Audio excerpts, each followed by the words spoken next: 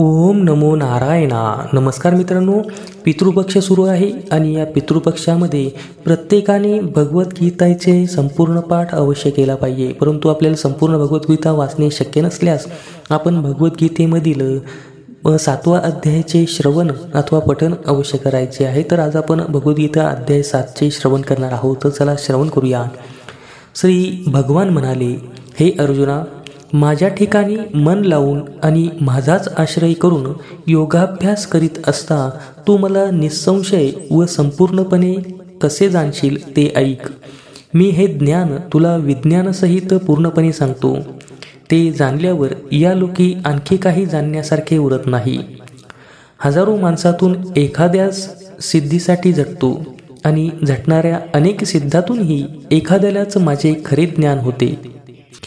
पृथ्वी आप तेज वायू आकाश मन बुद्धी आणि तसाच अहंकार मिळून माझी प्रकृती आठ प्रकारांनी विभागलेली आहे. अर्जुना ही माझी जड प्रकृती होय. याशिवाय जिच्या योगाने या जगताचे धारण होते अशी परा माझी जीवनरूप चेतन प्रकृती आहे. ती समजून घे. सर्व सृष्ट पदार्थ या माझ्या परा व अपरा प्रकृतीपासून उत्पन्न होतात. म्हणून मीच अखिल जगाचे उत्पत्ती स्थान तसेच विलय स्थान आहे असे समज. हे अर्जुना माझ्याहून श्रेष्ठ अथवा वेगळे असे दुसरे काही नाही. दोऱ्यात ओवलेल्या अनेक मन्यांप्रमाणे माझ्या ठाई हे सर्व जग ओवलेले आहे. हे अर्जुना पाण्यामधील रश्मी चंद्र सूर्यामधील प्रभा मी सर्व वेदातला प्रणव मी म्हणजे ओंकार मी आकाशातला शब्द मी आणि पुरुषातील पराक्रम मीच आहे. पृथ्वीवरील उत्तम सुवास मी अग्नीमधील तेज मी सर्व प्राणीमात्रातील जीवनशक्ती मी व तपस्व्यांमधील तप मीच आहे. हे पार्था सर्व पदार्थांचे अनादी बीज मी आहे असे समज. बुद्धिमंतांची बुद्धी मी व तेजस्वी लोकांचे तेजही मीच आहे. हे अर्जुना बलवंताचे वासना व आसक्तरहित बल मी आहे व सर्व भूतांच्या ठिकाणी धर्माला विरुद्ध न जाणणारा काम मी आहे. जे जे सात्विक राजस तामस भाव म्हणजे पदार्थ आहेत ते ते सर्व माझ्यापासून उत्पन्न झालेले आहेत. असे तू जाण परंतु मी त्यांच्यात नसून ते मात्र माझ्या आश्रयाने असतात. या सत्वरज तमात्मक पदार्थांनी मोहित होऊन हे सर्व जग त्यांच्या पलीकडे असणारा अविनाशी असा जो मी त्याला जाणत नाही. कारण ही माझी त्रिगुणात्मक अलौकिक माया पार होण्यास कठीण आहे. जे मलाच शरण येतात तेच या मायेला तरुण जातात.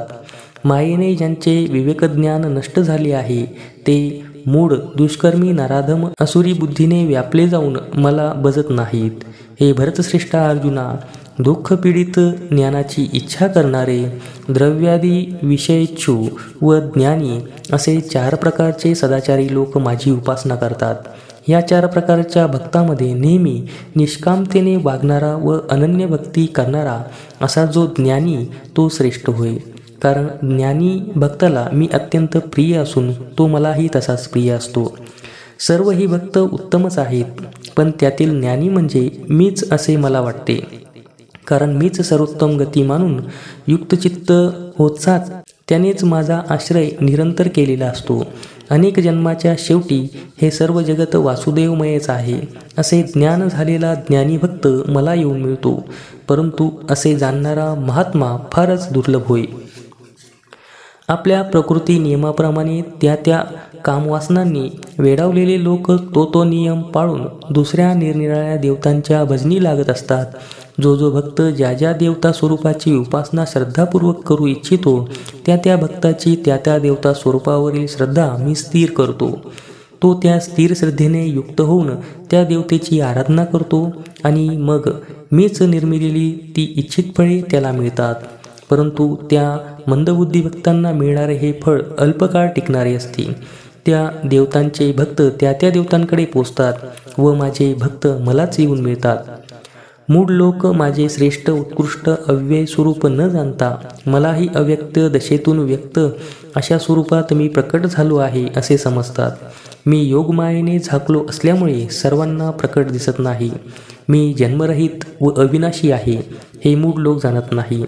हे अर्जुना मी भूत वर्तमान आणि भविष्यकाळातील सर्व प्राणी मात्रांना जाणतो पण मला कोणीही जाणत नाही. कारण हे भारता इंद्रियांच्या इच्छा व द्वेष ह्यापासून उद्भवणाऱ्या द्वंद्वाच्या मोहांनी सर्व उदे हे परंतपा या सृष्टीत भ्रम पावत असतात. परंतु ज्या सत्कर्माचरणी लोकांचे पातक नष्ट झालेले असते ते सुखदुःखादी द्वंद्वजन्य मोहापासून मुक्त होऊन दृढव्रत होत माझी उपासना करतात. वर्धक्य व मृत्यू यापासून मुक्त होण्याकरता जे माझ्या आश्रयाने प्रयत्न करतात ते परब्रह्म अध्यात्म तसेच अखिल कर्म जाणणारे असे होतात जे अधिभूतासह अधिदैवतासह आणि अधियज्ञासह मला जाणतात ते युक्तचित्त आपल्यामुळेच अंतकाळी देखील मला जाणतात. याप्रमाणे श्रीकृष्णांनी गायलेल्या उपनिषदातील ब्रह्मविद्यांतर्गत योगशास्त्रातील श्रीकृष्णार्जुन संवादातील ज्ञानविज्ञान योग या नावाचा सातवा अध्याय समाप्त झाला. धन्यवाद.